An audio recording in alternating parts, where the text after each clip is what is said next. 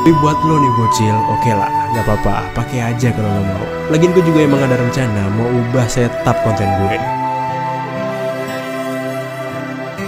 So, ini mungkin jadi konten terakhir gue dengan setup kayak gini. Dan sampai jumpa di setup gue yang baru. Bye.